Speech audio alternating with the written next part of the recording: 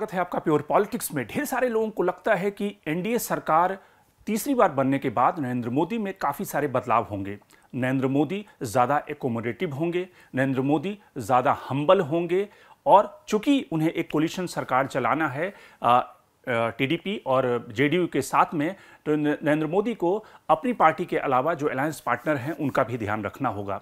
तो सवाल यह है कि आने वाले दिनों में खास करके किस तरह के चेंजेस किस तरह की पॉलिटिकल चर्निंग की शुरुआत होगी और कौन कौन से ऐसे चर्निंग होंगे जो आने वाले दिनों में दिख सकते हैं? तो प्योर पॉलिटिक्स में बात बीजेपी के अंदर होने वाले चर्निंग की, कि इस मैंडेट के बाद किस तरह से बीजेपी को झटका लगा है और उस झटके से किस तरह की पॉलिटिकल चर्निंग आने वाले दिनों में हो सकता है। शुरुआत करते हैं जो लोग नरेंद्र मोदी को जानते हैं। नरेंद्र मोदी की सबसे बड़ी ताकत क्या है? नरेंद्र मोदी भारतीय राजनीति में इकलौते ऐसे राजनेता हैं जिनमें गजब की फ्लेक्सिबिलिटी है, जो किसी भी राजनेता में होनी चाहिए, लेकिन नरेंद्र मोदी में जो लचीलापन है, किसी भी एजेंडे को लेकर, किसी भी पॉलिसी को लेकर या भी किसी भी परिवर्तन को लेकर, वो बाकी राजनेताओं से प्रधानमंत्री नरेंद्र मोदी को अलग बनाता है। आप उम्मीद कीजिए या फिर आप याद कीजिए एक तरह से कि किस तरह से प्रधानमंत्री नरेंद्र मोदी ने हिमाचल के विधानसभा चुनाव में अपने एक रेबल कैंडिडेट को बिठाने के लिए, यानी कि वो चुनाव में बीजेपी का प्रॉस्पेक्ट खराब न करे, कृपाल सिंह परमार को प्रधानमंत्री नरेंद्र मोदी ने फ़ोन कर दिया।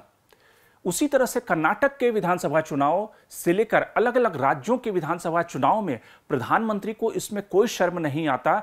उन्हें लगता है कि अगर उनके एक फ़ोन कॉल करने से बीजेपी का प्रोस्पेक्ट अच्छा हो सकता है तो वो कृपाल परमार को भी फ़ोन कर सकते हैं या फिर वो कर्नाटक के किसी राजनेता को भी फ़ोन कर सकते हैं।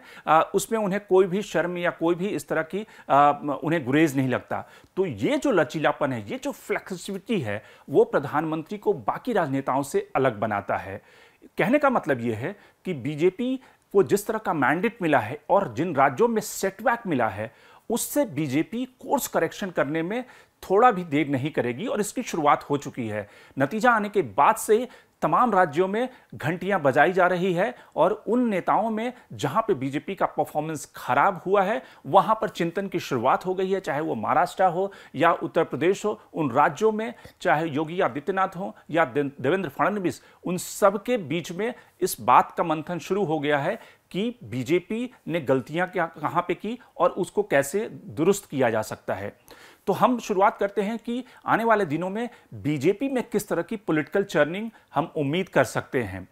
सबसे पहले शुरुआत करते हैं, चूँकि इस 2024 का जो सबसे बड़ा सेटबैक स्टेट रहा है, या फिर बीजेपी का जो दो सौ बहत्तर का आंकड़ा नहीं पहुँच पाया, उसके लिए जिम्मेदार जो स्टेट है, वो यूपी यानी योगी आदित्यनाथ का राज, जहाँ पर बुलडोजर बाबा की इमेज के साथ योगी आदित्यनाथ 2017 की विधानसभा चुनाव के बाद से सत्ता में दूसरी बार 2022 के विधानसभा चुनाव में मैंडेट लेकर सत्ता में विराजमान हैं। यूपी का जो सेटबैक है, वो अनप्रेसिडेंटेड है और इसीलिए वहाँ पर पॉलिटिकल चर्निंग की काफ़ी ज़्यादा गुंजाइश बचती है। और इसीलिए आपने पिछले दो दिनों में देखा होगा कि नतीजा आने के बाद वहाँ पर आरोप प्रत्यारोप, एक तरह से एलिगेशन काउंटर एलिगेशन शुरू हो गए हैं। बीजेपी के कई सारे नेताओं को यह लगता है कि चुनाव को योगी आदित्यनाथ ने हरवाया है। कई सारे नेताओं को ये लगता है कि जो संगठन और सरकार के बीच में जो कोऑर्डिनेशन होनी चाहिए थी वो नहीं थी। और कई सारे लो, लोगों को ये भी लगता है कि वहाँ का जो संगठन जो वहाँ के स्टेट प्रेसिडेंट हैं इस समय और जो संगठन मंत्री हैं वो काफ़ी उस तरह से कामयाब या उस तरह से उन्होंने अपनी संगठनात्मक कामों में जिसको कहते हैं ग्राउंड पे जो जिस तरह की मैपिंग होनी चाहिए वो उस तरह की मैपिंग वो करने में नाकाम रहे।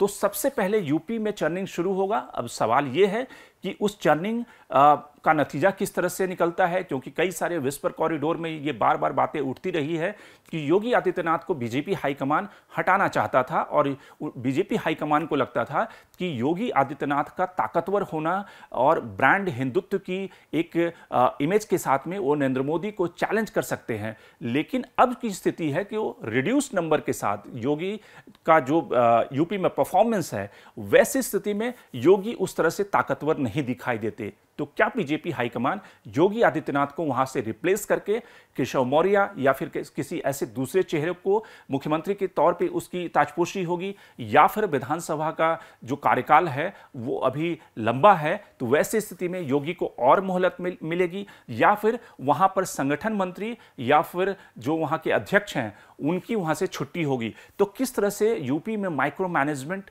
आने वाले दिनों में बीजेपी हाईकमान कर सकता है? क्योंकि यूपी का जो डिजास्टर है वो सरप्राइजिंग है। न केवल वहाँ पे ओबीसी जो वोट बैंक है, वो बीजेपी से छिटका है, जो 2013 में अमित शाह ने यूपी में जाकर जिस रेनबो कोलिशन की शुरुआत की थी, जिस सोशल इंजीनियरिंग की शुरुआत की थी, जिस तरह से बूथ पर मैपिंग की शुरुआत की थी, वो इस पूरे लोकसभा चुनाव में धाराशायी हो गया है। न केवल ओबीसी वोट बैंक, बल्कि दलित वोट बैंक भी समाजवादी पार्टी में शिफ्ट हो गया, जिसके कारण यूपी में बीजेपी को एक बड़ा सेटबैक मिला है। तो पहले चर्निंग की शुरुआत उत्तर प्रदेश से, जहाँ पर बीजेपी को एक बड़ा लॉस हुआ है। दूसरा जो चर्निंग होने वाला है आने वाले दिनों में, वो आप देख सकते हैं महाराष्ट्र। महाराष्ट्र एक ऐसा राज्य है जो कि अगले छह महीने में जहाँ पे विधानसभा के चुनाव होने हैं। और आपने देखा कि किस तरह से पिछला जो बीजेपी ने सोशल एक्सपेरिमेंट किया या फिर इंजीनियरिंग की महाराष्ट्र में शिवसेना को स्प्लिट करके और एनसीपी को स्प्लिट करके, उसका कोई बहुत ज़्यादा फ़ायदा बीजेपी को नहीं मिला है। तो वैसी स्थिति में इस अलायंस के साथ बीजेपी को विधानसभा में उतरना काफ़ी चैलेंजिंग होगा, काफ़ी रिस्की होगा एक तरह से। क्योंकि शिंदे सेना भले ही सात सीट जीती है, लेकिन जो सिंपैथी वेव है, वो उद्धव ठाकरे के पास में है, जो इस इलेक्शन में रिफ्लेक्ट हुआ है। उसी तरह से जो सिंपैथी वेव थी, वो शरद पवार के पास में थी, और इसीलिए अजित पवार सिर्फ़ एक सीट पर सिमट कर रह गए हैं। वैसी स्थिति में क्या कांग्रेस रिसर्जेंट कांग्रेस, जिसने की असली जमीनी मुद्दों पर लड़ाई लड़ी, जो उद्धव ठाकरे और शरद पवार के कोलिशन के सामने क्या बीजेपी इस अलायंस के साथ विधानसभा चुनाव में जाना पसंद करेगी? या फिर देवेंद्र फडणवीस की फिर से मुख्यमंत्री के रूप में वापसी हो सकती है? क्योंकि वहाँ पर जिस तरह से बीजेपी का ग्राफ घटा है, शिंदे सेना ने अपनी जगह बचाई है, लेकिन बीजेपी ने काफ़ी लॉस वहाँ पे, यानी कि 23 सीटों से घटकर वो 9 सीटों पर आ गई है।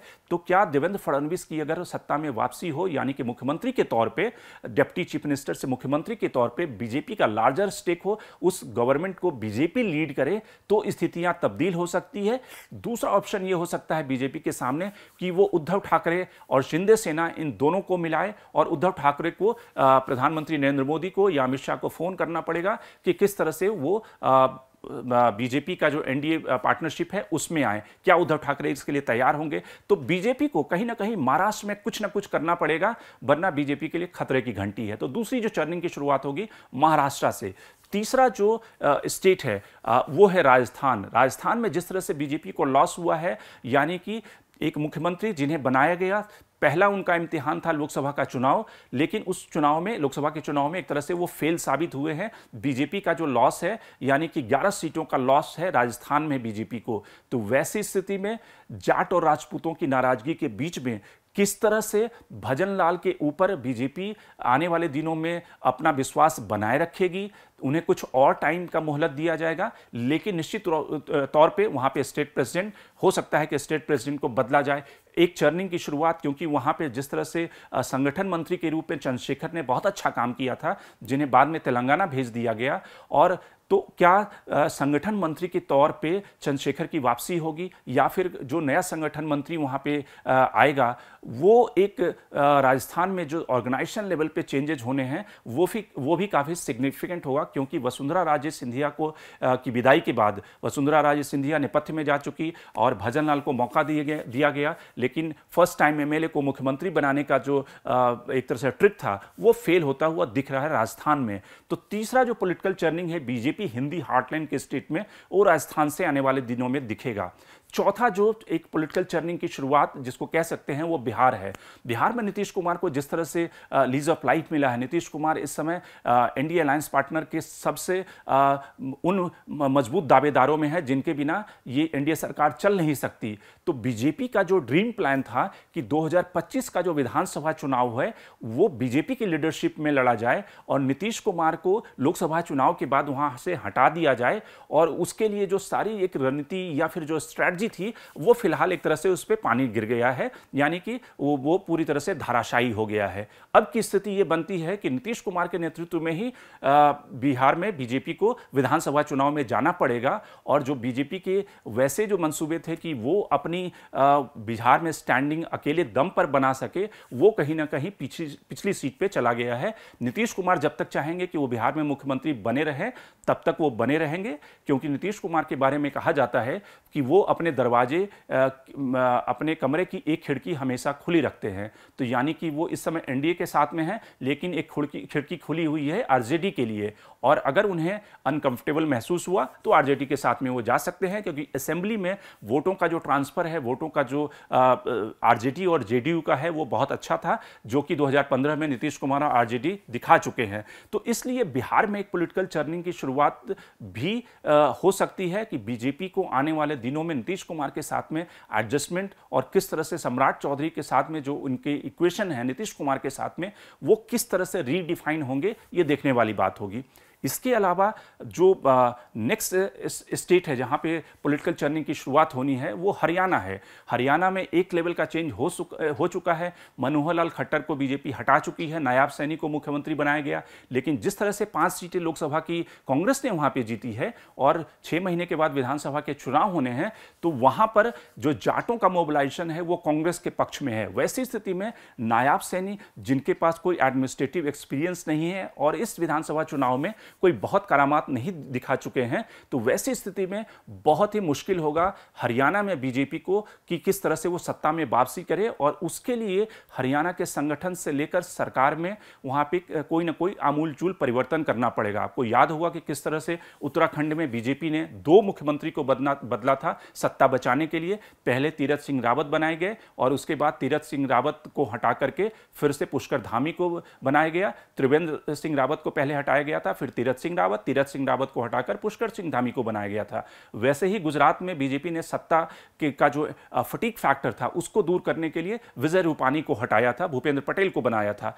तो उस तरह की एक पॉलिटिकल चर्नी की गुंजाइश हरियाणा में अभी भी बसती है कि जाट सेंटिमेंट को आ, की जो नाराज़गी है उसको दूर करने के लिए जेजेपी के साथ फिर से अलायंस करना पड़ेगा या फिर बीजेपी किस तरह से उस जाट सेंटिमेंट को खुश करती है ये देखने वाली बात होगी। झारखंड एक ऐसा स्टेट है जहाँ पर ट्राइबल बैकलेस हेमंत सोरेन को जेल में डालने के कारण उसका रिफ्लेक्शन कहीं ना कहीं दिखता है।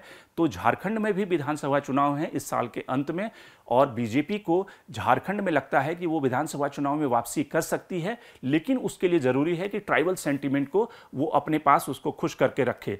क्या ट्राइबल सेंटीमेंट को खुश करने के लिए चूँकि अर्जुन मुंडा चुनाव हार चुके हैं बाबुल मरांडी इस समय राज्य के अध्यक्ष हैं, बीजेपी झारखंड में भी अपने घर को उसे दुरुस्त करना पड़ेगा। तो ऐसे ढेर सारे राज्य हैं जहाँ पर पॉलिटिकल चर्निंग की शुरुआत आने वाले दिनों में दिखेगी। न केवल यूपी, महाराष्ट्र, हरियाणा, झारखंड, बिहार, इन सारे राज्यों में बीजेपी को फैसले लेने पड़ेंगे।